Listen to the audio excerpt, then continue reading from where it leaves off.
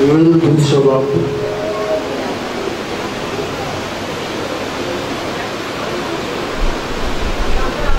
اور اس کی ہم پندرہویں آیت کی تلاوت کریں یوئل دوسرا باپ اور اس کی پندرہویں آیت میں یہ مرکوم ہے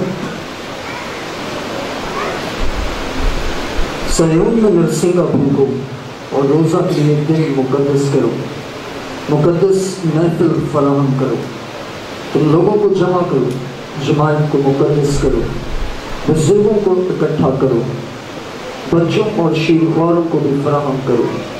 دلہا اپنی کوٹری سے اور دلہن اپنے خلوت خانہ سے نکلا۔ کاہن یعنی خدا کے خادم دیوڑی اور قربان گاہ کے درمیان گرے اوزاری کرے۔ اور کہیں اے خدا، اپنے لوگوں پر رحم کر اور اپنی میراث کی توہین نہ ہونے دے۔ ایسا نہ ہو کہ دوسری قومیں ان پر حکومت کریں وہ حکومتوں کے درمیان کیوں کہیں کہ ان کا خدا کہاں ہے کلام مقدس کا پڑھا اور سنا جانا ہمارے باعث سے برکت آئے اپنی آنکھوں کو ایک بار پھر بند کریں سب سے جھک جائیں سب کے بند اور خدا ان کی زندہ کلام کے لیے اپنی زندگیوں کو تیار کریں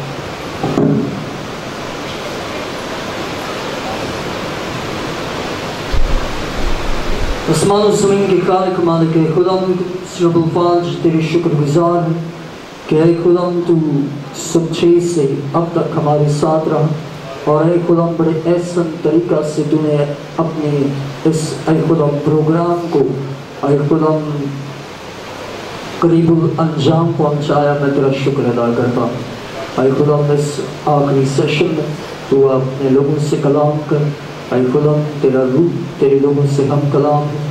میں گھٹ اور تو بڑھ اور تیرا نام عزت اور جلال پائے کیونکہ اے خدا، بولنے والے ہم نہیں، بلکہ خدا کا روح ہے۔ سو اے خدا، تو آج اپنے روح کی تحریک سے اپنے لوگوں سے کلام کر۔ میں گھٹوں اور تو بڑھے اور تیرا نام عزت اور جلال پائے کہ یہ قدوس اور جلالی نام سے۔ آمین۔ آئے اپنی آنکھوں کو کھولیں اپنے سر کو اٹھائیں ہالیلویا آخری سیشن کا ٹاپک کیا ہے کسی کو علم ہے مضمون کیا ہے خداوند اپنے لوگوں کو بحال کر اور برکت دے۔ میرے عزیزوں، قوم کی بحالی اور برکت کے لیے قوم کو کیا کرنے کی ضرورت ہے؟ جب کوئی قوم تنزلی کا شکار ہوتی ہے یا زوال کسی قوم میں آتا ہے، تو اس کی زوال اور اس کی تنزلی اور اس کی بے برکتی کی وجہ اس قوم کا گناہ یا خدا کی نافرمانی یا ایسی باتیں جو خدا کو ناپسندیدہ اور اس باعث خدا من حیثل قوم کو بدحال کر دیتا۔ من حیثل قوم شکست خوردہ ہو جاتی۔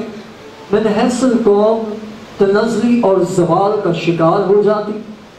اور اس قوم میں پھر گراوٹ وہ ترقی کرنے کی بجائے وہ شب و روز ناکامی کی جانب، وہ ہر روز شکست کی جانب۔ رواں دواں ہوتے ہیں۔ لیکن قوم کی بحالی کیسے ممکن ہے؟ قوم کیسے بحال ہو سکتی ہے؟ اور اس کے لیے قوم کو کیا کرنے کی ضرورت ہے؟ جب بھی کوئی قوم کلام مقدس میں اگر ہم اہل عتیق کے پس منظر میں دیکھیں، جب بھی کوئی قوم تنزلی، زوال اور شکست کا شکار ہوئی، اس قوم کے پیچھے، اس کی شکست کے پیچھے اس کی وجہ خدا کی نافرمانی یا گردن کشی اور اس کے لیے انہیں لازم اور ضرور تھا کہ وہ خدا کی طرف رجوع لے کر آئیں تاکہ خدا انہیں دوبارہ بحال کرے اور یہاں پر بھی یوئل کی معرفت جو کلام خدا کی طرف سے پہنچایا گیا کیونکہ وہ قوم تنزلی کا شکار تھی، ان کی زندگی میں کال تھا کھانا میسر نہ تھا ان کی فصلیں اجڑ چکی تھی ان کے پاکستان برباد ہو چکے تھے اور ان کے درخت جن پر ان کی امیدیں تھیں وہ کاٹ ڈالے گئے اور چھیل ڈالے گئے اب اس بحران میں خدا نے یو ایل کی معرفت اس قوم سے کلام کیا اور کیا کہا دیکھیں میرے ساتھ پندرہویں آیت کو سیون میں نرسنگا پھونکو اور روزہ کے لیے ایک دن مقدس کرو، مقدس محفل فراہم کرو۔ خدا تقاضا کرتا ہے کہ انسان اپنی بحالی کے لیے خدا کے حضور خاکسار ہو جائے۔ جب تک انسان خاکسار نہیں ہوتا، اس میں انانیت، اس میں خود غرضی اور اس میں میں پائی جاتی ہے۔ اور اسی بنا پر وہ اپنی میں کے ساتھ زندگی بسر کرتا رہتا ہے اور خدا کے حضور نہ جھکنے کا فیصلہ کرتا ہے اور اس کا نہ جھکنا، اس کا خاکسار نہ ہونا، اسے مزید بدحالی، مزید تباہی اور بربادی کی جانب گامزن کرتا ہے۔ لیکن خدا یہاں اس قوم سے تقاضا کرتا ہے اور اس قوم کو مشورہ دیتا ہے۔ کہ تم اپنی انانیت سے باز آؤ، تم اپنی انا کا خاتمہ کرو اور میرے حضور خاک ساری کے ساتھ جھکو۔ ایک دن روزہ کے لیے مقدس کرو اور مقدس محفل فراہم کرو۔ تم نے محفلیں تو فراہم کی، لیکن وہ مقدس نہ تھی اور ان محفلوں کے باعث میں تم سے ناخوش ہوا، رنجیدہ ہوا اور اسی بنا پر تم تنزلی کا شکار، بدحالی کا شکار، شکست خوردی کا شکار ہوئے، لیکن اب لمحہ فکریہ۔ اگر تم چاہتے ہو من حیثل قوم بحال ہو جاؤ، اگر تم چاہتے ہو من حیثل قوم برکت کو پاؤ، تو تمہیں ضرورت اس بات کی ہے کہ تم سیون میں نرسنگا پھونکو۔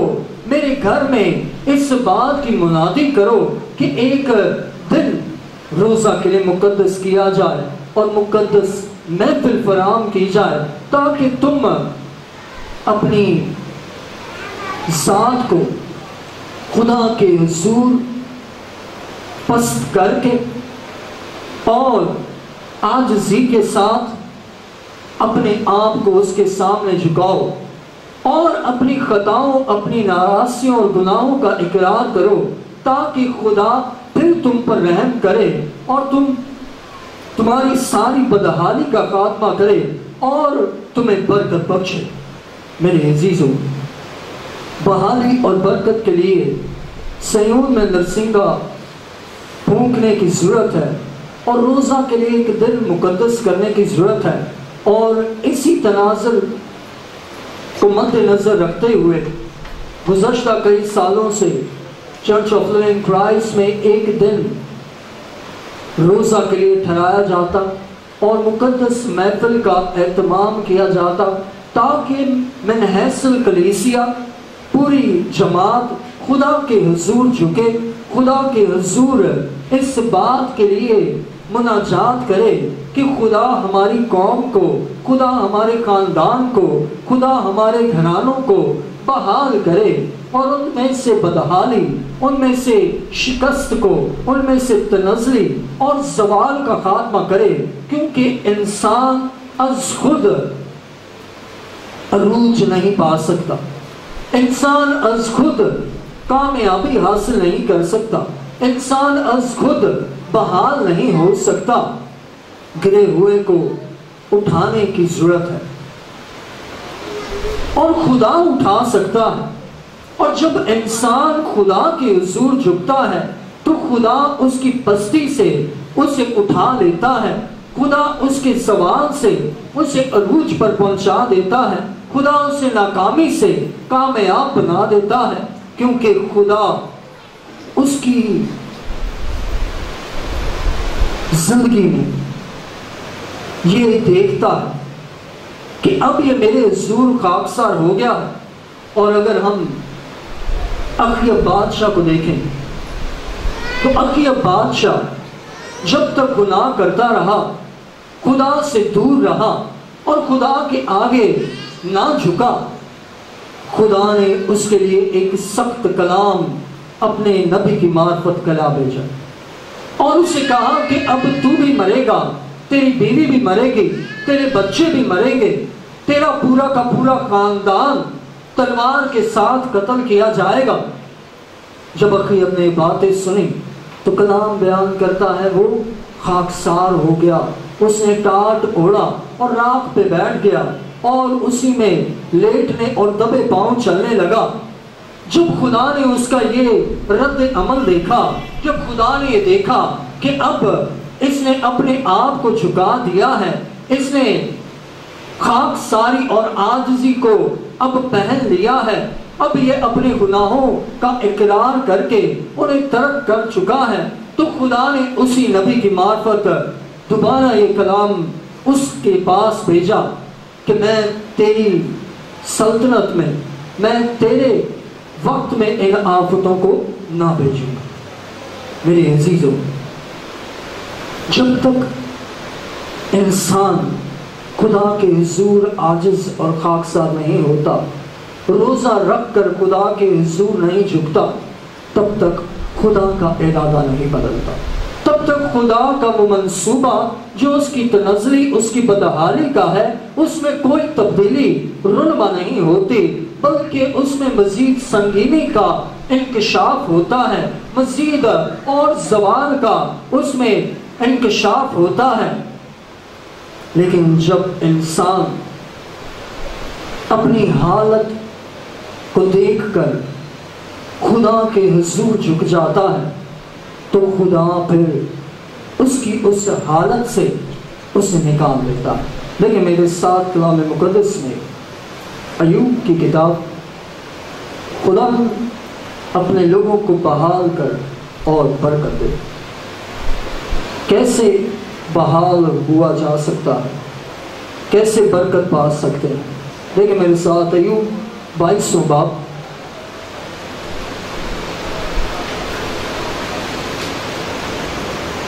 ایوب بائیس سو باپ اور اس کی تیسویں آیت کو پڑھوں گا، لکھا ہے،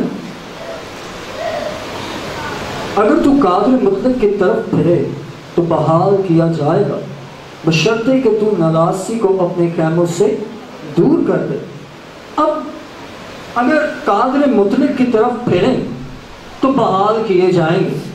لیکن اس کے ساتھ ایک شرط ہے کہ ناراضی کو اپنے خیموں سے دور کر دے جب تک انسان خدا کی طرف پھرتا نہیں، تب تک وہ بحال نہیں ہو سکتا۔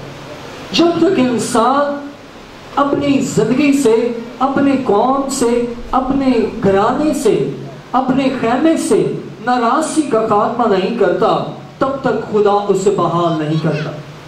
بحالی کے لیے ضرورت ہے خدا کی طرف پھرے اور اسی کے ساتھ ساتھ ناراضی کو خیمہ سے دور کرے۔ اور انسان کی کتاب میں لکھا ہے کہ جو اپنے گناہوں کا اقرار کر کے اس سے ترک کرتا ہے، اس پر خدا کی رحمت ہو پھر غضب کا خاتمہ ہے، پھر قہر کا خاتمہ ہے، پھر تباہی کا خاتمہ ہے، پھر خدا کا مزاج چینج ہو جاتا پہلے تک وہ غضب ناک ہے، لیکن انسان کے اقرار اور گناہ کے ترک کرنے کے بعد خدا کے مزاج میں تبدیلی پہلے غصہ ہے کہر ہے، غضب ہے، تو اس کے بعد رحمت ہے۔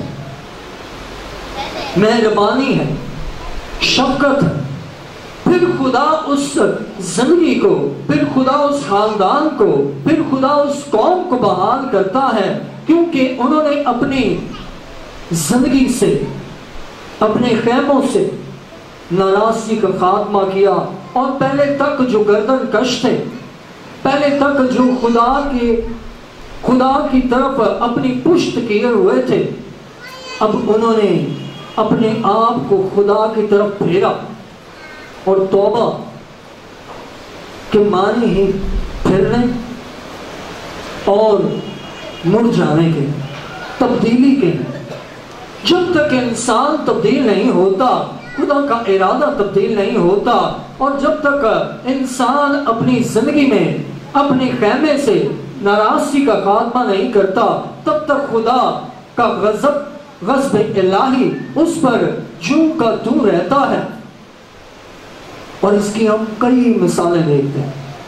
نینوا شہر خدا کے خلاف تھا، خدا کی مرضی کے خلاف تھا، خدا کی چاہت اور خدا کی پسند کے خلاف تھا۔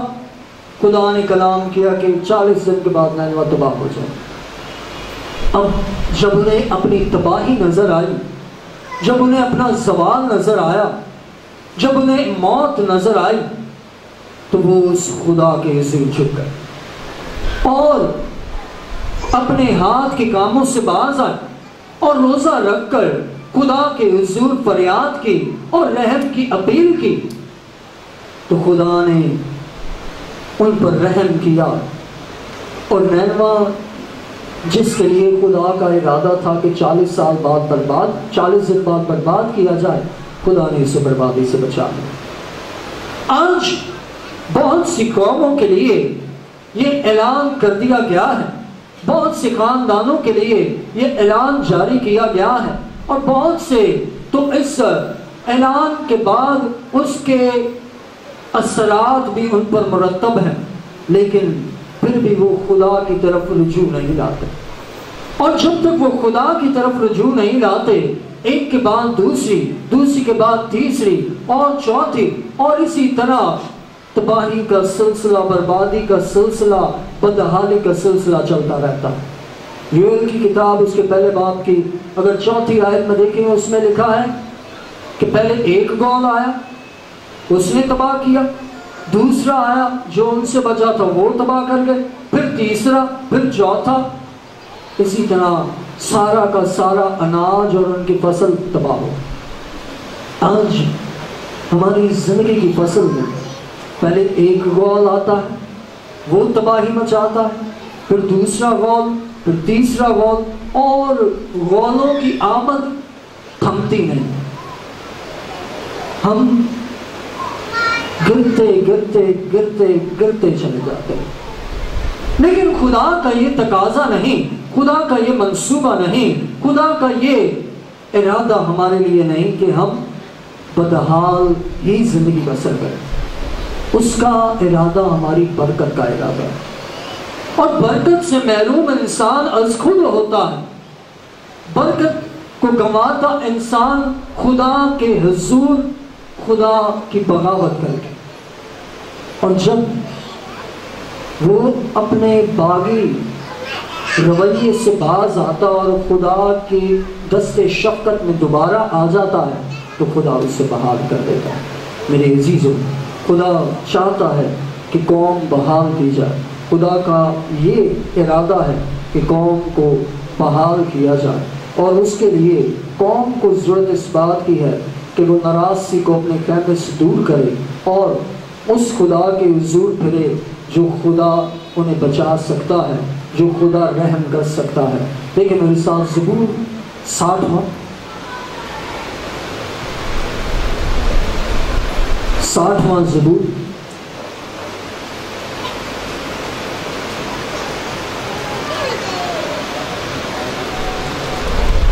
اور اس کی پہلی آیت کو پڑھیں گے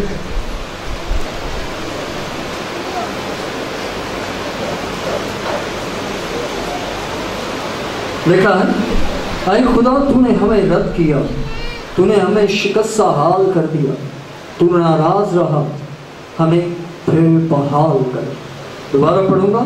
اے خدا، تو نے ہمیں رد کیا۔ تو نے ہمیں شکست حال کر دیا۔ تو ناراض رہا۔ ہمیں پھر بحال کر۔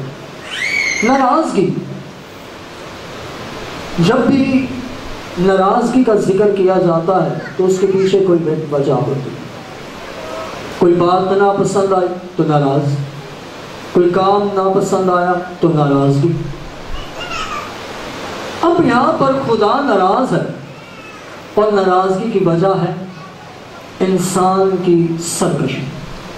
انسان کی خدا کی فرما برداری نہ کرنا، انسان کا خدا سے جدا ہونا۔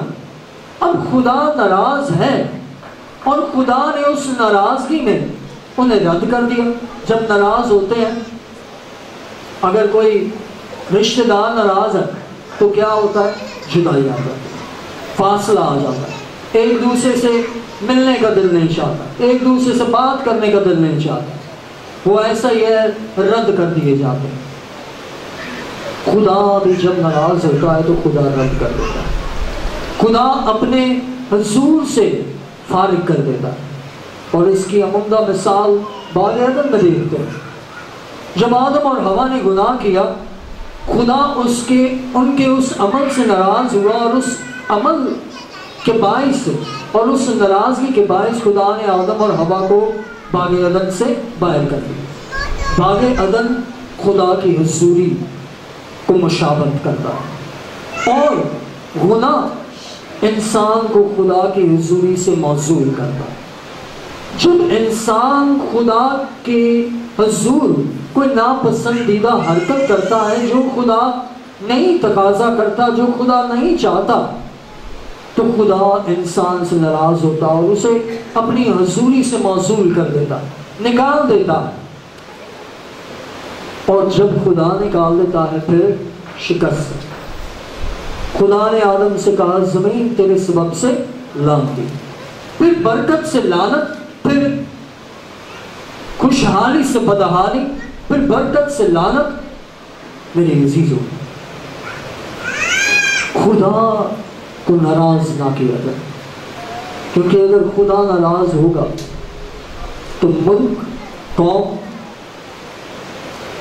معاشرہ، گھرانہ شکست کا شکار ہو دیکھیں ساٹھ میں باپ کی پہلی آیت ہے، اے خدا، تو نے ہمیں رد کیا، تو نے ہمیں شکست حال کر دیا۔ تو ناراض رہا ہے ہمیں پھر بحال کر۔ اب یہاں پر یہ ایک اپیل کی جا رہی اقرار کیا جا رہا ہے کہ اے خدا، تو ناراض ہے اور ناراضگی کی وجہ ہم ہیں۔ لیکن آج ہم یہ تیرے حضور اقرار کرتے ہیں کہ وہ بات جس سے تو ناراض ہے، ہم اسے ترک کرتے اور اپنی زندگی سے جدا کرتے ہیں۔ اے خدا، اب تو بحال کر، تو نے شکستہ حال کیا، لیکن تو ہی وہ خدا ہے۔ جو دوبارہ بحال کر سکتا ہے۔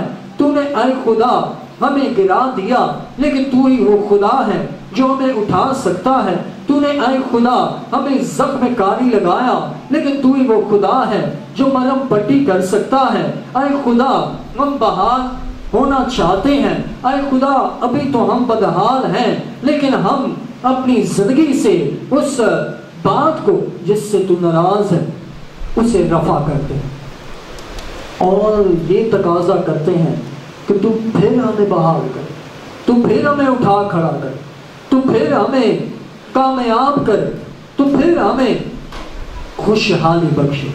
میری عزیزوں، خدا تقاضا کرتا ہے کہ ہم اپنے گناہوں کا اقرار کریں اور خدا کے حضور جھکیں تاکہ خدا ہمیں بحال کرے۔ خدا ہماری قوم، ہمارے ملک، ہمارے خاندان کو بحال کرے۔ کیونکہ وہی بحال کر سکتا ہے۔ دیکھیں میرے ساتھ زبور اسی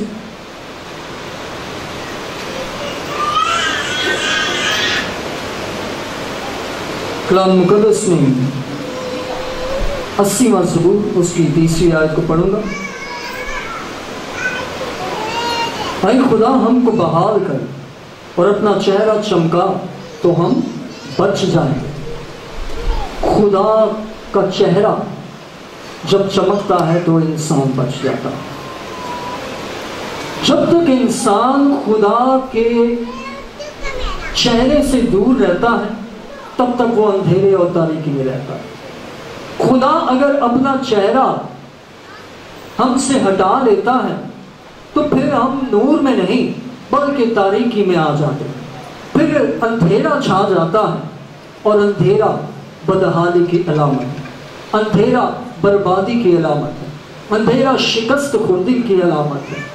اب خدا اپنا چہرہ چمکائے تو ہم بچ سکتے ہیں۔ آج خدا اپنا چہرہ پھیرے ہوئے۔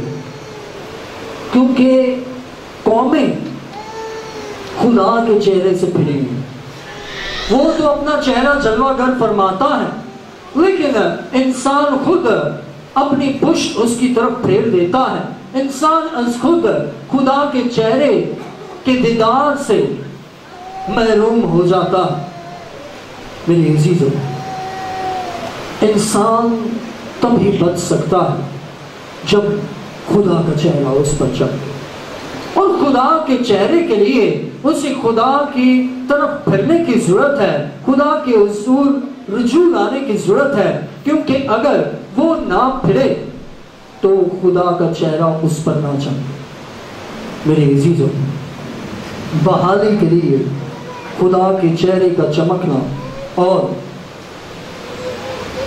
خدا کی طرف رجوع لانے کی ضرورت ہے۔ دیکھیں میرے ساتھ کلام مقدس میں دوسرا تواریخ، اس کا ساتواں باپ دوسری تواریخ، اس کا ساتواں باپ اور اس کی چودہویں آیت کی تلاوت کریں گے، لکھا ہے۔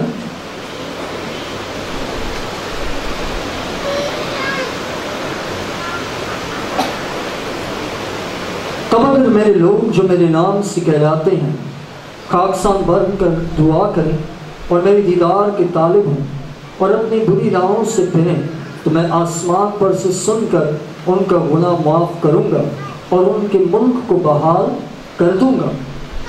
بدحالی کی سب سے بڑی وجہ گناہ۔ اور جب تک انسان کی زندگی میں گناہ قائم رہتا ہے، تب تک خدا کا چہرہ اس پر نہیں چمکتا۔ تب تک خدا اس سے مخاطب نہیں ہوتا۔ تب تک خدا کہ حضور وہ نہیں آ سکتا۔ اب خدا یہاں پر مشورہ دیتا ہے۔ دیکھیں چودھویں آئے کو۔ تب اگر میرے لوگ جو میرے نام سے کہلاتے ہیں، خاک سار بن کر دعا کریں اور میرے دیدار کے طالب ہوں اور اپنی بری راہوں سے پھریں، تو میں آسمان سے پر سے سن کر ان کا گناہ معاف کروں گا اور ان کے ملک کو بحال کر دوں گا۔ میرے عزیزوں، بحالی کے لیے ہمیں اپنی بری راہوں کو ترک کرنے کی ضرورت ہے۔ جب تک انسان بری راہوں پر چلتا رہتا ہے، تب تک وہ بہادری، بدحالی کی اور گامزن رہتا ہے۔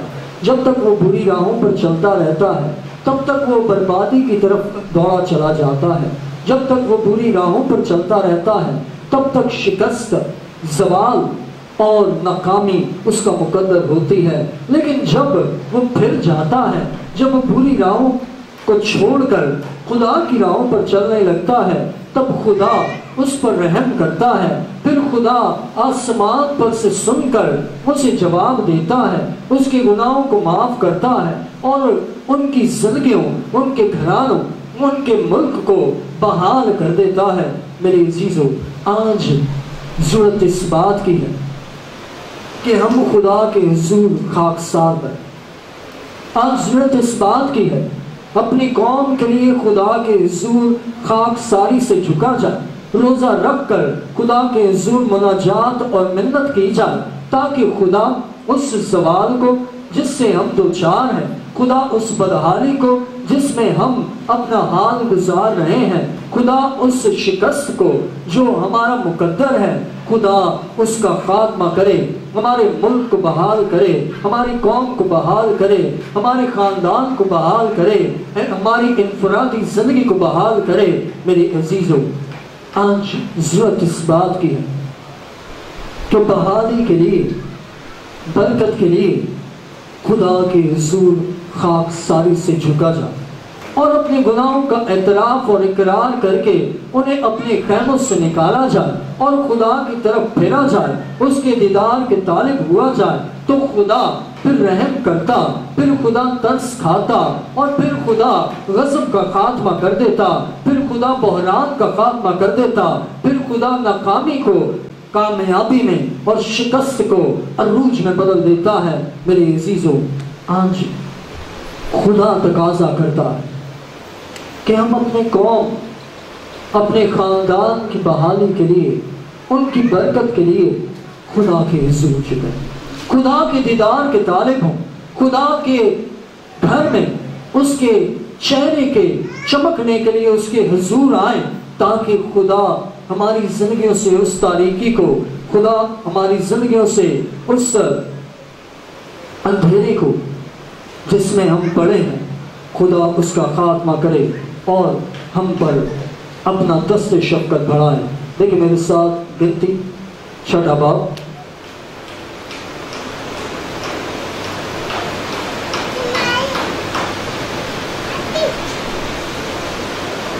ہندی چھٹا باپ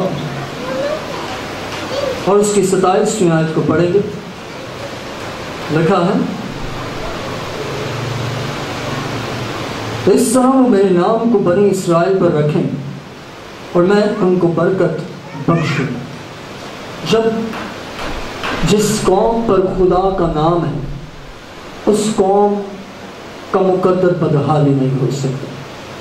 جس خاندان پر خدا کا نام ہے، اس خاندان میں زوال آ نہیں سکتا جس زندگی پر خدا کا نام ہے، اس زندگی میں بے برکتی کا آنا ممکن ہے۔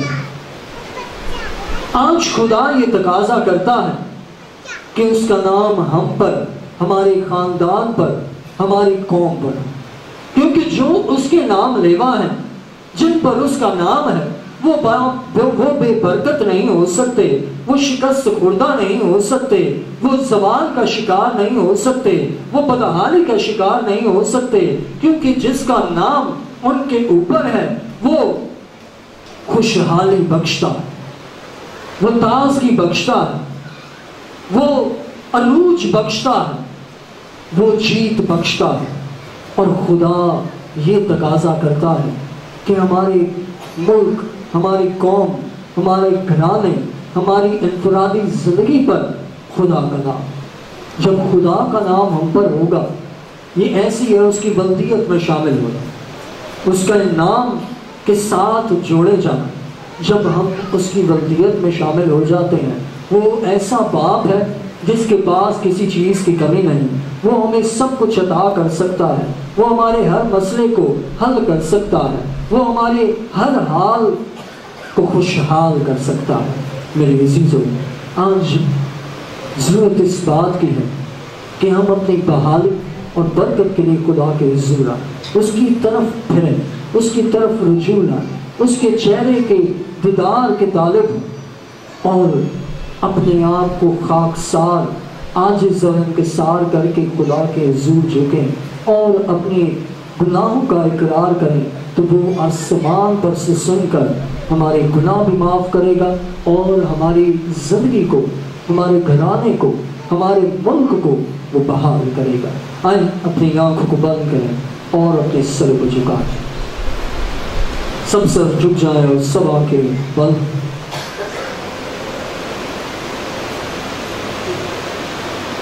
میری اسی جو بحالی اور برکت کے لیے ہمیں خدا کے گھر میں آنے کی اور روزہ کے لیے ایک دن مقدس کرنے کی مقدس محفل فراہم کرنے کی ضرورت ہے۔ بحالی اور برکت کا معیار یہ ہے کہ اس خدا قادر کی طرف پھریں اور اپنی ناراضگی کو اپنے خیمے سے دور کریں۔ جب تک آپ اس سے جدا رہیں گے، تب تک آپ بدہار رہیں گے۔ جب تک آپ اس سے دور رہیں گے، آپ بدحالی کے قریب رہیں گے۔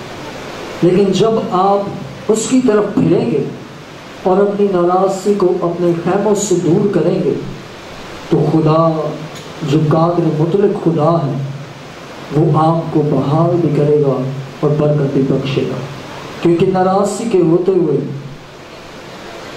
ہم صرف شکست پا سکتے ہیں، بدحال ہو سکتے ہیں۔ تباہ اور برباد ہو سکتے ہیں۔ لیکن ناراضی کو ترک کرنے سے ہم خوشحال ہو سکتے ہیں، بابرکت ہو سکتے ہیں اور عروج پا سکتے ہیں۔ کوئی اور نہیں، صرف خدا ہے جو قدرت رکھتا ہے ہمیں بحال کرنے کی کیونکہ اسی نے گنایا تو وہی اٹھائے گا۔ اسی نے شکست حال کیا ہے تو وہی خوشحال کر سکتا ہے، کیونکہ اس کے ہاتھ کو روکنے کی کسی کی قدرت نہیں کیونکہ اس کے ارادہ کو کوئی ڈال نہیں سکتا۔ اگر کوئی چیز ہے جو اس کے ارادہ کو بدل سکتی ہے، وہ ہے انسان کی خاک ساری سے اس کے حضور۔ اپنے گناہوں کا اقرار کر کے انہیں ترک کرنا۔ کیونکہ جب انسان گناہ کا اقرار کر کے اسے ترک کرتا ہے، پھر خدا آسمان پر سے سن کر اس کے پہلے گناہ معاف کرتا ہے اور اس کے بعد اس زندگی کو، اس گھرانے کو، اس قوم کو بحال کرتا ہے۔ آج خدا چاہتا ہے کہ وہ ہمیں بحال کرے اور ہمیں برکت بخشے۔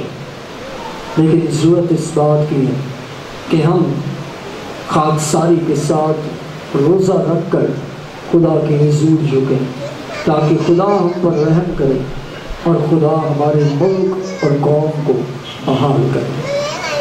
آئیں وہ زندگیاں جو چاہتی ہیں کہ خدا ہمیں بحال کرے اور برکت دے وہ اپنے گھر پہ کھڑے ہو سکتے ہیں۔